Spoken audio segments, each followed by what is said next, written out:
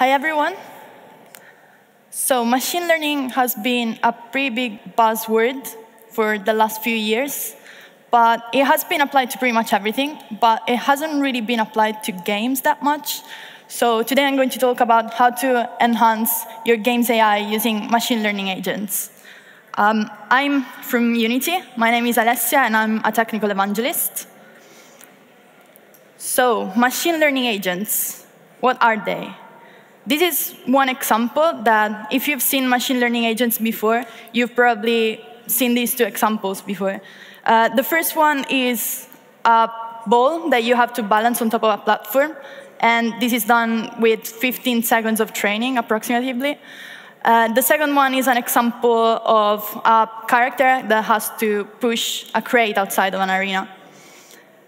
And this is another example that is more recent. It's from GDC, and it's done using imitation learning. So on the left side, we have the human character. On the right side, we have the agent. And they pretty much work the same way. So the agent is smart enough, uh, but not too smart so that you can't beat it. So it's a good level of smart. So there's been pretty much a lot of content about machine learning agents pretty much everywhere on the internet. So we have the Unity blogs where we released a lot of content, tutorials, and how to get started with it. And there's also dev content, so you can find a lot of resources on GitHub as well. But in case you haven't heard of it, so this is a really quick introduction on machine learning. So machine learning is an application of artificial intelligence that is aimed on automating a system to do something without us having to tell it exactly how to do it. So the first two versions of machine learning agents, so far there's three out.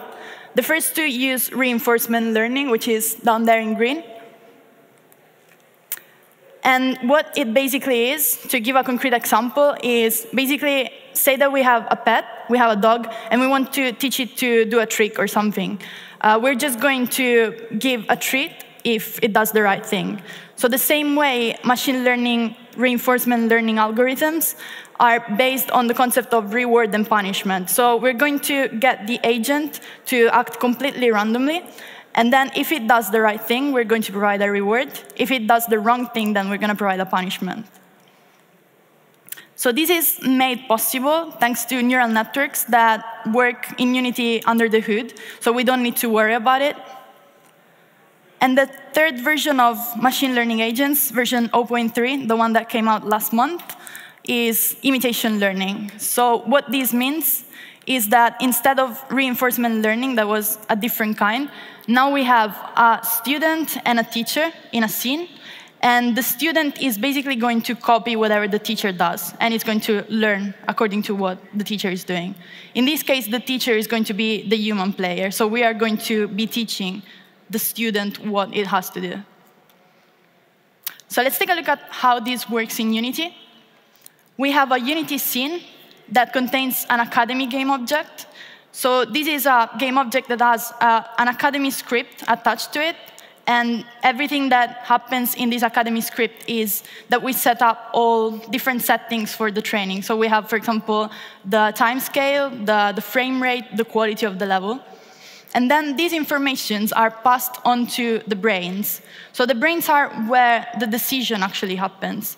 So there's four different kinds of brains. We have internal, external, heuristic, and there is a fourth type that is not there, but it's the player. And that's what we're going to need in the case of imitation learning. So all the information that the brains uh, process are passed on to the agents, which are other game objects in the scene, and they are what we're basically going to train.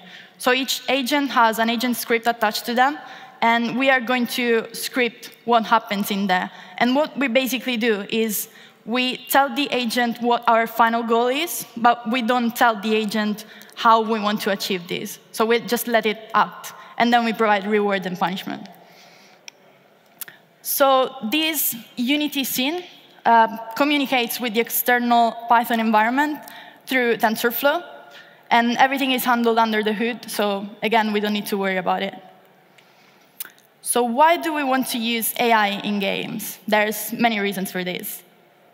The first reason is that it can be sometimes difficult and complex and time consuming to program our own AI, but at the same time, it makes the games a lot more fun to play.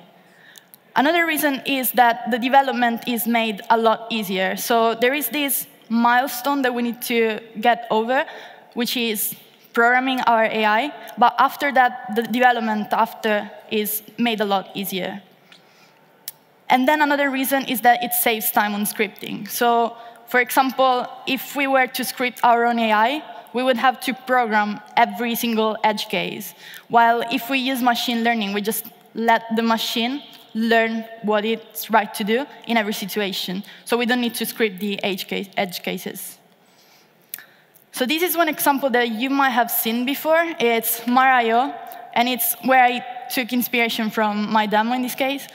Um, this uses neural evolution and genetic algorithms. I'm not going to explain what they are in detail, but what you basically need to know is that this is not a human player playing, but it's been figured out by the machine. So it's possible to do something similar in Unity. It's possible to obtain kind of the same results, not using, neural, uh, not using genetic algorithms, but using imitation learning. So I'm just going to show you how this is going to work. First of all, the, the system is going to learn by watching us play, and then it's going to adjust to the player. Then it's also a more organic approach than scripting, because in this case, we consider the environment as a whole. So we don't have to worry about the edge cases. We don't have to script the agent without it being aware of what's happening outside. And another important thing is that we don't want it to be perfect. Because when we script AI and we just program it, then it's always very predictable. So we know exactly what the AI is going to do at any given point. While in this case, it's like we actually have a person that is trying to copy what we're trying to do. So it never, it's never going to happen that it's exactly the same as it should be. So it's never going to be completely perfect. It's going to be imperfect, which is what we want to obtain in this case. And another really exciting thing is that in uh, Unity um, machine learning agents, imitation learning happens in real time. So we perform the training while we're playing as the teacher. So in this demo, I'm going to apply machine learning agents in an existing game. And what I want to focus on here is that I am going to do it on a game that it's already been completed because I want to show how it's possible to introduce machine learning agents into your already finished game. But it's not necessary to wait until the end to implement them. You can do it at any given time. So yeah, it's an existing game. So this is the game that I'm going to use. You might have seen it before if you've been on the Unity blogs. So this is the 2D game kit. It came out a few weeks ago, and it's a game that we released on the Asset Store. And what it basically is, is a set of assets, tools, scripts that you can take, uh, put every single, take every single asset and put it into your game, and it's going to help you develop a new scene. So before we dive into it, let's break down what we need to do. First of all, we have a task. So we want to take an inspiration from uh, MarI/O. We want to automate the movement. So we want the agent to go from one side to the level to another side. For the sake of this demo, I'm not going to go to the end of the level. So I'm going to make the training faster so that I'm just going to show a part of the level. So this is the first thing that we want to do. Second thing is we want it to act smartly. So this means that for example, when we have a platform and we are walking towards a level, um, at the point of the platform, we want to be able to jump. And of course, we could just always continuously jump, because at some point we're going to overcome the platform. But a player wouldn't play like that. A player would just wait till it gets to the platform and then jump. So this is one thing that we want to keep into account. Also, we need to remember that the training duration depends on the complexity of the task. So in this case, I'm just going to make something really easy, which is when we get to a platform, then we want to jump. and we don't need to, to worry about other option, other controls like crouching or uh, sprinting, but it's something that you can implement if you want. Also, if you want to increase the complexity of your task and you don't want to make the training incredibly long, like overnight, you can use curriculum learning, which means that you basically tell the agent that once it gets to a certain point, a certain quality of the, of the system, then you can increase the complexity and then change the level maybe. And there is a lot online about this. I'm not going to go too much into this because I didn't use it in this demo, but it's in the Unity blogs and there's plenty of documentation. And then another important thing, just remember that you need to know what you're trying to achieve. So you can't just uh, start from scratch and on the fly, you're going to decide what you're going to create. So this is the final product. Again, it's not perfect because we don't want it to be perfect. But this is basically trained in real time. So I'm playing as a teacher, and then this is the result. And I also wanted to focus on how I'm changing the scene in real time. So I press play, and then using our tile map system, I change what's happening in the scene. And the agent will understand that it's in front of a different situation. So it's going to start trying to overcome the platform in this case. So getting ready for the training. So what are the things that we need to do in the engine? First of all, we need to be aware of what vector observations are. So these are all the variables, all the values in the game that the agent needs to be aware of so in this case, what I do is I cast a ray in front of me, in front of the agent, and if the ray meets a platform, then in that case, I know that the agent will have to jump. So the agent is always aware of whether it has to jump or not. Second thing we need to be aware of is vector actions. So they are all the possible actions that the agent can perform, and this is within the training and also the, the testing, so within the engine. So in my case, my agent is able to go back, so go left, go right, or jump. And I also have one extra action, which is the default action, which means to just stand still. Also, we have teacher and student. So they are both agents, and they act in a different way. So that means that we need to give two different brains to them. We need to associate their agent script to a different, a different brain because the decisions that they make are going to be different. And then the broadcasting feature. So this is just a, a checkbox that we need to activate when we are in the teacher script. And that means that all the actions that we perform while we're playing will be broadcasted to the student. So let's take a look at this in the demo. So this is the 2D game kit. I simply downloaded it from the asset store, and I opened the first scene. So this is called Zone 1. All the information about the level, all the game objects are under level here. And this is all stuff that I'm not going to change at all, so I just put it in a separate game object. These are everything, all the assets that are important for me for the sake of this demo. So first of all, we have the cameras. You know what the cameras are. Um, we have two agents. So we have our teacher, which is the character that I'm going to play. And we have the student, which is what is going to copy. And then we have all the machine learning assets. So first of all, we have the academy, which is what I told you about, and it has an academy script attached to it. And it has different variables that we can change, that we can customize. So first of all, we have max step. If I overrun it, it's going to tell you all the information about it. But what it basically is, is that we set a number, and if the training reaches that number, that number of steps, then it will reset. So remember that one step is not one frame, but one physics frame. So it runs in fixed update.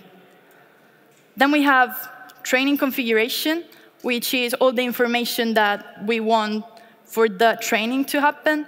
So with uh, height of the window of the training. So it's very, very basic stuff. And then we have the same in the inference. Now we have the brains that are children of the academy. So what they are, first of all, I'm going to go into the teacher brain. And I'm going to close brain parameters for now. I'm going to explain to you what they are later. But first of all, we have brain type, which in this case, as I said, it's player, which means that once we go into the training, we're going to be the one playing as the teacher. And then we have the broadcast checkbox, and it ticked, it's ticked. Uh, and then we have the default action, which is in this case zero, and that means just stand still, nothing happens. And all the different actions that you can perform as a player. So you have D, so go right, go left, and, and jump. So the brain parameters, what they are, are they, they are the vector observation that I was talking about. So this can be discrete or continuous. I'm going to explain what it is later. Uh, the space size and stack vectors, all the information about these, again, if you hover on the variable, it's going to explain you what it is. Then we also have visual observation, and I will explain these at the end. And vector actions, which is the actions that the agent can perform. And in this case, they are four, because as we said, stand still, left, right, and jump. Then we have a second brain, and this is the student brain. So brain parameters are the same, and the brain type, in this case, we want to set it as external. So as I said, there are four different types. The player is the one that we need for the teacher, and the external means that we are going to pass the information, and we're, we're basically going to say the training and the responsibilities of this game object is going to be passed to Python externally, so we don't have to worry about it. Then we have the teacher agent and the student agent. So the teacher agent has the agent script attached to it, and the first variable is the brain. So we're going to have to link this agent script to a brain. In this case, it's going to be the teacher. Then all the other variables are basically settings on the max steps, which is the same thing that was in the academy, but on the agent side. So we might want to reset the agent, but not reset the academy. And then we have reset on done. I'll show you these in code in a second. And then on-demand decisions and decision frequency. Uh, this means that you don't actually make any decision every frame if you want, but you can make them at certain intervals and you can choose the frequency. And this would be really useful for, for example, turn-based games. Everything after that is very agent-specific um, so demo-specific variables. So in this case, I'm connecting the agent to the actual teacher. So from here. And then the goal, which is when I want to say, at this point, the academy has to restart. And then I also have this other uh, script that is basically just a helper to say, if you use this, then at runtime, you have more power to, for example, record what you're broadcasting or reset. And then again, we have another script that is for the student, and it's connected to the student brain. Everything else, as I said, this is the goal, and you can see it from the scene. It's, don't know if you can see it from that screen, but it's basically just a collider, a trigger, that says once you enter that trigger area, then it, it restarts. So going back to the presentation, let's go talk about the script. So the script has different uh, functions that are already there, but you just need to expand, expand them and implement them. So the initialize agent script function is exactly what it says it does. So it runs only one time, and it's everything that you want to do to initialize your agent script. Then you have collect observations, which is basically what you can have when, um, when you want to collect all the, the states, all the things that the agent is aware of. Then we have the uh, agent action, which is all the behavior of the, of the agent itself. So everything that the agent can do, um, whether it's in the training or in the testing, it's going to be stored here. And this is also where you say when you want to reward the agent. And then we have the agent reset and the agent on done. They work pretty much the same way. So they are run whenever we decide to reset the agent. So let's see this in code. So I'm going to open my agent script.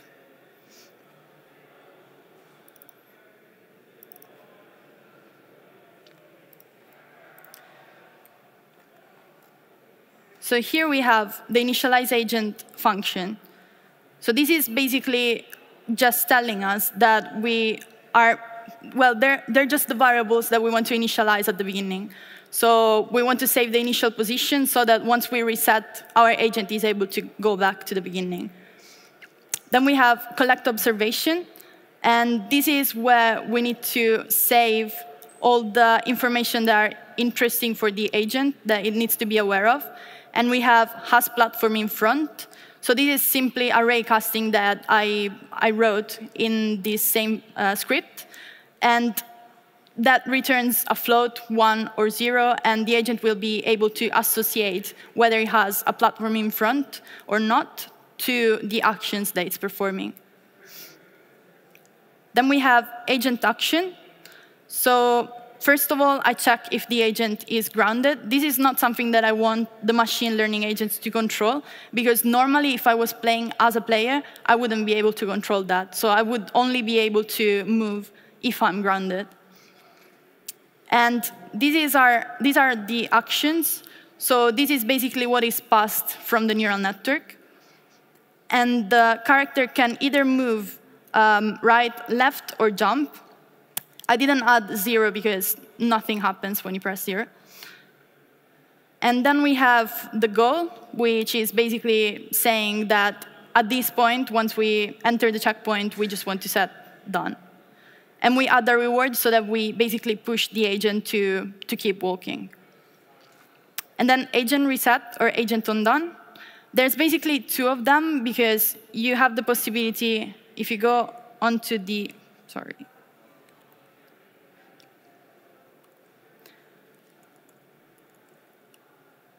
If you go into the, I believe it's the agent script, yes, you have reset on done. And if you tick this checkbox, it, uh, it basically means that whenever it's done, whenever you call the function done, then agent reset is called. So I'm basically just resetting the position.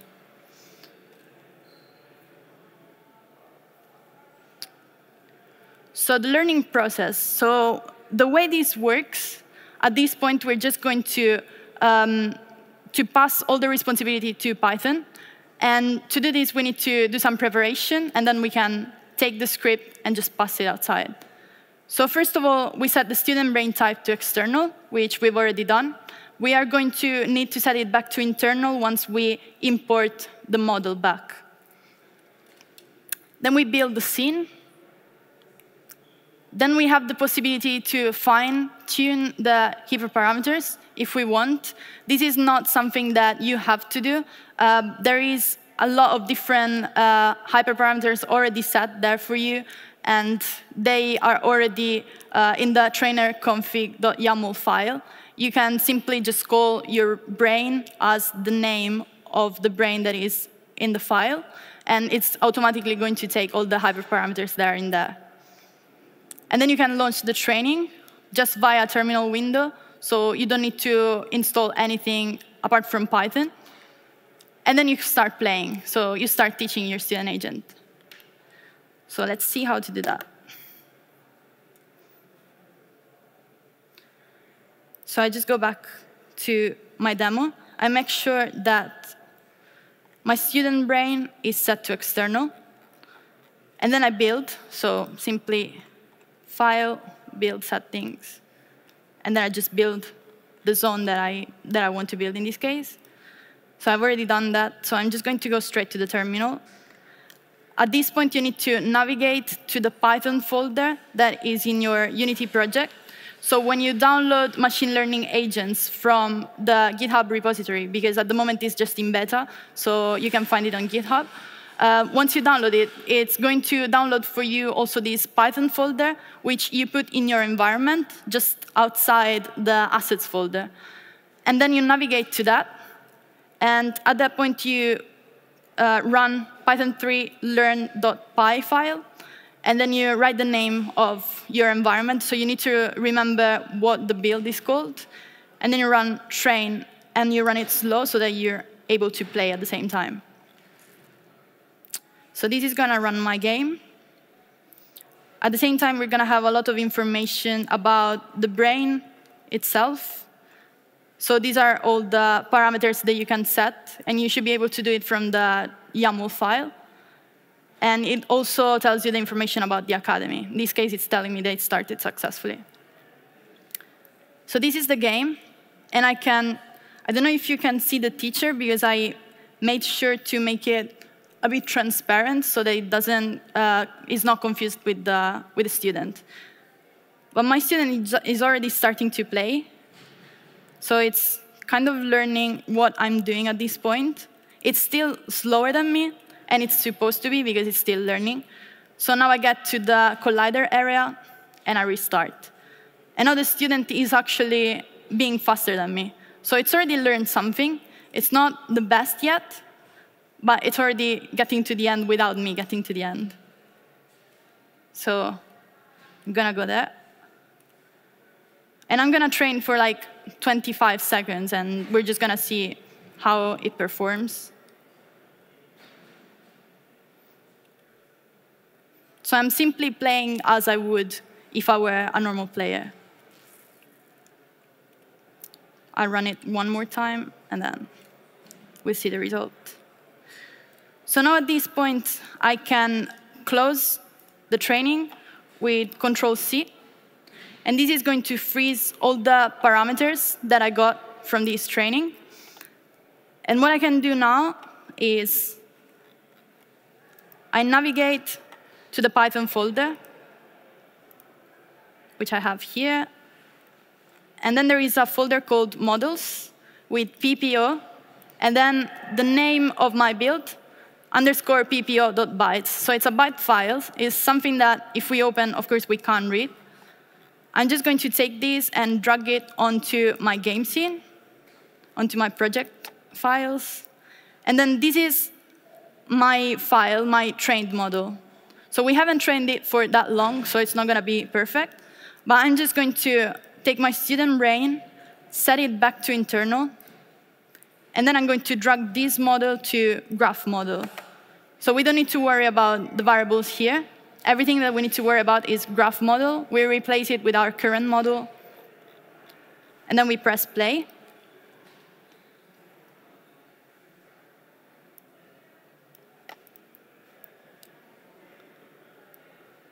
And it's not recognizing immediately what to do. It can do it with a bit of help. So now it's going to start going through the level by itself.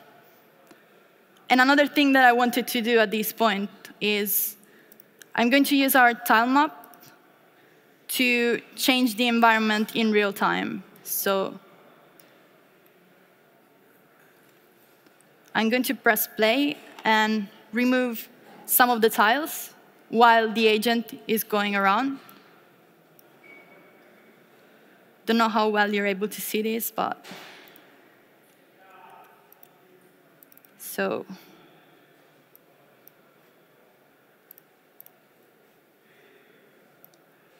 and I start removing some tiles. Maybe I can make it harder for the agent so that it's not able to jump.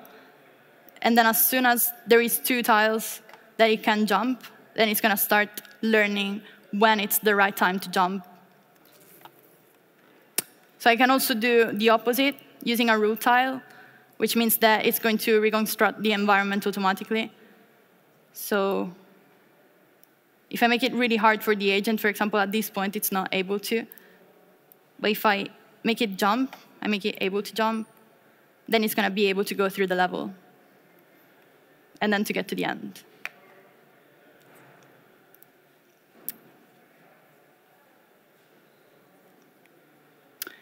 So this is the, the demo itself. Um, there are some useful tips that I didn't cover here, but I'm just going to give you a quick overview of them. So if you want to make the most of machine learning agents, there are a lot of different features that you can use. One of them is on-demand decisions. So if you're working on a turn-based game, like a card game, for example, and you don't want your agent to make a decision for each frame, then you can use on-demand decisions. As I said, you can set the frequency yourself. Right now, the way it works is that uh, agent step, um, agent action, because we, we changed the name recently, uh, the function where all the behavior of the agent actually happens runs in fixed update. So that means that it runs every single frame, physics frame. Then we also have visual observations. So in addition to all the vector observations, which are basically what the agent is aware of every, all the time during the training, we can also add visual observations, which means that you can take a camera and you can set up the agent to be able to see whatever that camera sees. So this is another very useful feature that you can use, and it's just as simple as adding a new camera. I'm actually just going to show you within the engine. So if you want to use that, you can go to the student brain, and you have visual observations here. If you open it, you can add new cameras. And you can set up also the, the resolution for the, for the camera. Of course, the least pixels you have, the less pixels you have in the camera, the faster the training is going to go. Of course, always remember to not consider all the details that you don't need for the training, because in this case, it was a really simple demo, so it was really fast to train and have some results. But normally, it would take longer, because the neural network has to iterate over and over. This can also be done from, for each agent. So in the agent script, you have agent cameras here, and you can simply add the camera and then drag a camera from your hierarchy, or remove the camera in case you don't need it. So this is visual observations.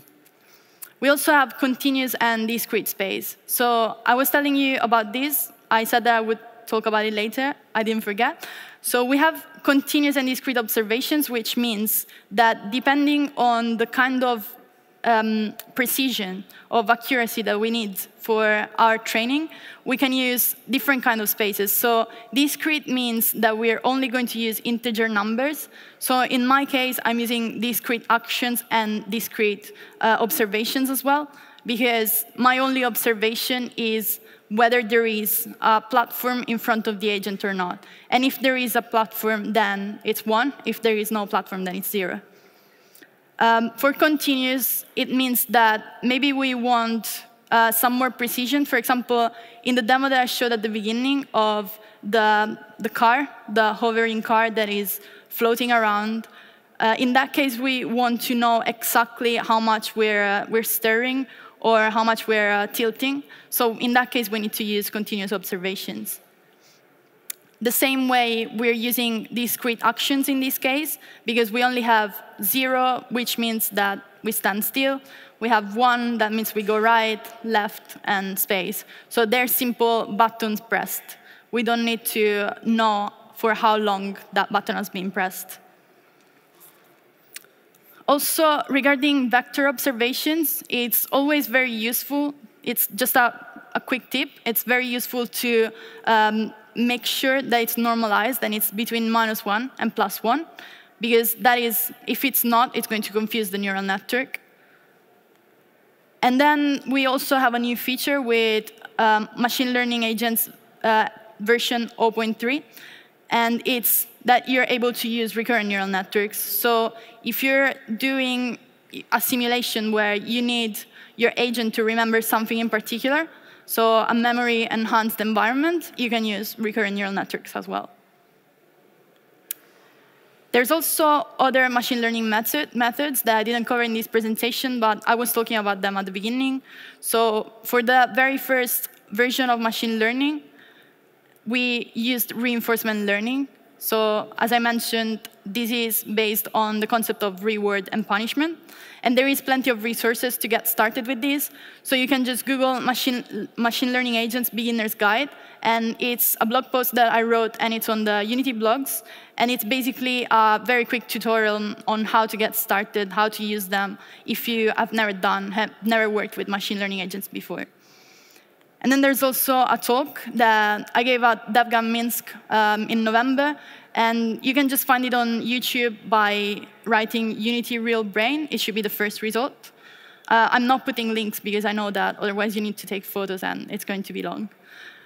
Um, for the second version of machine learning agents, we released curriculum learning, as I mentioned. And there's some information on these on the Unity blogs again. And you can just Google Unity blog curriculum learning, should be the first result again.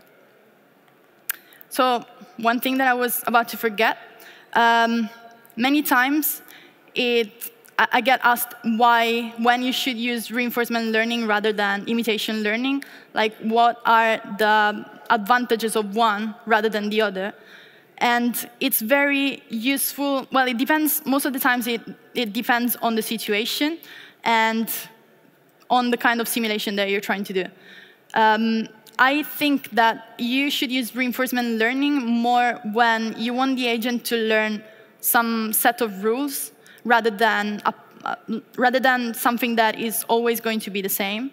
So if you want the agent, for example, to uh, know that whenever it gets to a certain point and it finds some certain conditions, it has to do that, then reinforcement learning is probably the most efficient method for that. Uh, otherwise, machine learning, um, imitation learning, sorry, it's going to be better if you have to copy exactly what's, what's happening. So these are the difference between reinforcement learning and imitation learning. Curriculum learning actually falls under reinforcement learning. It's just a way of improving how this is working. And then some more resources. Um, we have the machine learning agents repository. So this is where you can get the machine learning agents right now. Uh, normally, you should be able to get it at some point from the asset store. So this will be integrated. Right now, it's just a beta, um, but you will be able to, to get it later from there. And then the Unity blogs is where we post all the updates. There's also a part of the website that is fully dedicated to artificial intelligence and everything that we're working on right now. And if you want any further resources, you can just ping me on Twitter.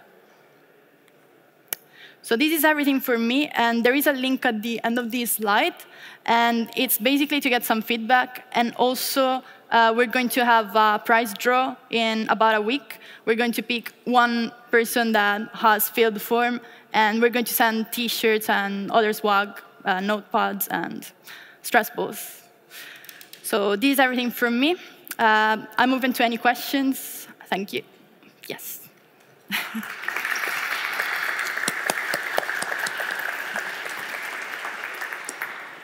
Hi, thanks for the talk. Um, I didn't quite understood how the integration with TensorFlow is done. This internal, external uh, Dropbox you showed. Uh, is it possible to run the game in the Unity player without TensorFlow? Um, you need a TensorFlow Sharp plugin. Uh, that it's actually in so in my is, folder. is uh, Python actually should be running inside uh, like mobile device if I'm making a game for a mobile phone? Um, I'm not sure if after the build, after the build, you should be able to, to run this even if Python is not there. So everything that this build model is, once you pass it onto the engine, it's just a dot bytes file. So it's a series of zero and ones. So you shouldn't, you shouldn't need to, to have Python installed on the mobile. Okay, so this an internal type of the agent as I understood, this is yeah. completely implemented inside Unity without Python, without TensorFlow, yeah. right? Uh, then is it, does it support all the features of a TensorFlow? For example, if I configure some very fancy neural network using TensorFlow features, will this internal Unity implementation uh, be able to run it the same way? So this or, is or it's some limited number of features implemented. Okay, so as far as I know, this is not supported for expansions yet because it's still in a beta, but all the code is available. Um, there is actually, in the previous two versions, it used to be a Jupyter notebook, so you were able to see the code itself. Right now, they made it easier so that it's not necessary for you to go through the Python code, and you can simply run it from, from the command prompt, from the terminal. Uh, can you for a second open the file of the configuration of the neural network, Yes. the Python file? So the hyperparameters file. Yep. Yeah. So it's on under Python and trainer config. And this is all the hyperparameters, gonna zoom in. All the hyperparameters that are there as default. So you have the default that is everything that runs in the case in which your um, brain doesn't match, the name of the brain doesn't match anything that is here. So here there's just different kind of names that depend, they're not completely random, I swear. Um, they actually come from the um, uh, demos that are in the machine learning agents repository. So there is one demo for each one of these, these kind of brains, and they all act in different ways. And this uh, YAML file is Unity specific or TensorFlow specific? Um, I think it would be on TensorFlow. I'm not sure about this. So if I would want to make another kind of external backend, it will have different kind of configuration file. What do you mean, sorry? Like, uh, like theoretically, uh, TensorFlow will probably in the future be not the only one external Yeah. uh, backend for neural networks. So will it have a different kind of configuration? So different hyperparameters as well. Okay, so Unity will have to implement the same uh, algorithms which TensorFlow has, like everything, Yeah. or maybe only partly. Um, it depends on how it works on the backend. So if uh, there is a way of making it common for all the different kind of neural network training um, algorithms, then it's possible. So it depends on that. Okay, cool. Thanks. Thank you. Any more questions? Uh, oh yeah.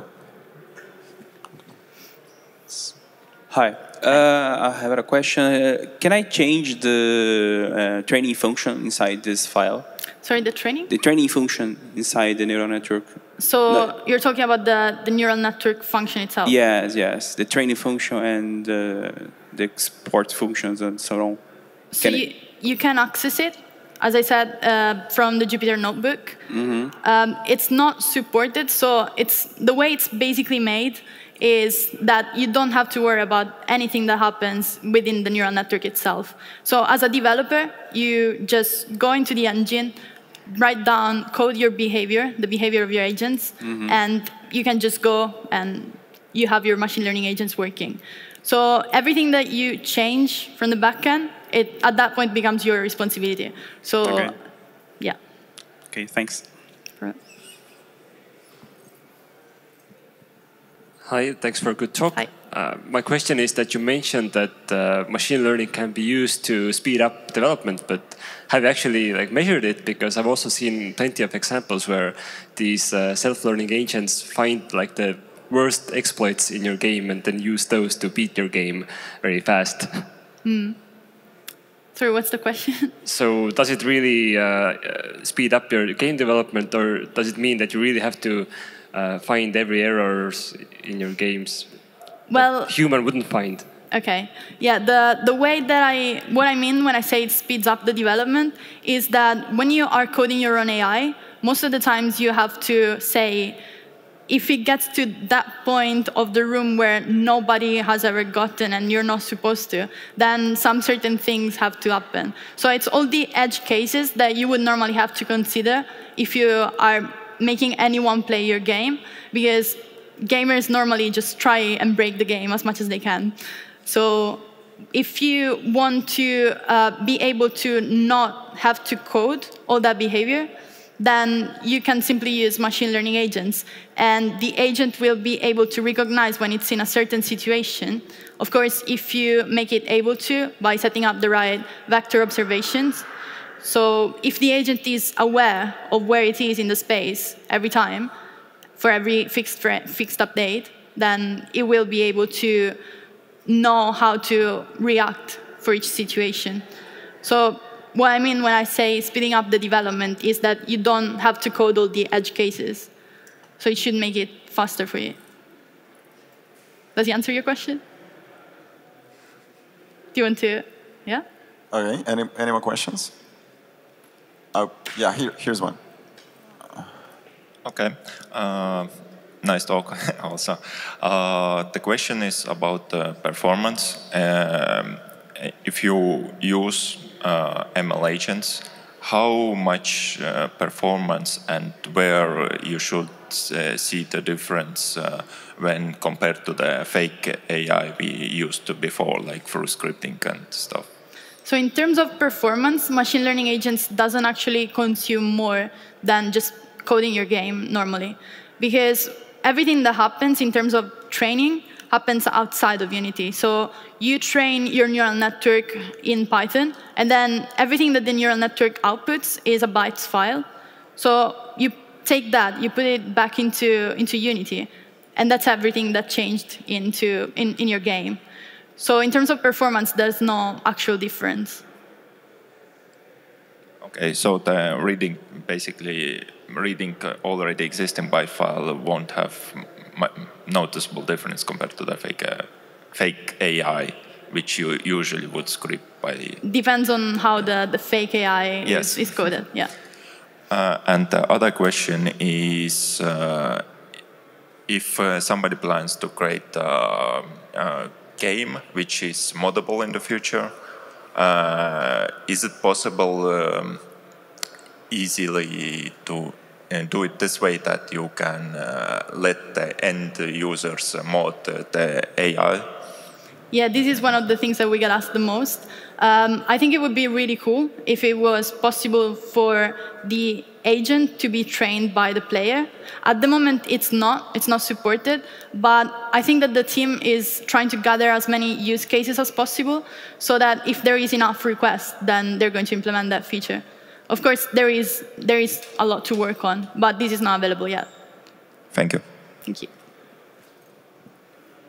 But, uh, you answered the question I had in mind. Uh, if I'm going to teach uh, like in uh, bots in in modern action game, there is no way to do it uh, so far without uh, without training it by uh, developers themselves in in studio. I mean, you cannot use any recordings from the player sessions. currently, it's not implemented, or maybe I I can do some trick, you know, is, is there any way to, to use recorded uh, user sessions to, to teach my, my model? Um, there would be hacks to do that. So there would be ways that if you work on it, um, you could be able to save the user inputs through, uh, because everything that you take as an input when you're playing, everything that the agent actually knows is some integer numbers, so some values. So if you are able to record those values and then you reproduce them into the agent training back from the side of the engine, then you're able to to train in so that way. I, I can, I can, yeah, yeah. So I can record uh, these sessions with a, with a proper way and then feed them back uh, in. Yeah. On, okay. Yeah. That, that that works for me. Thank you. Thank you.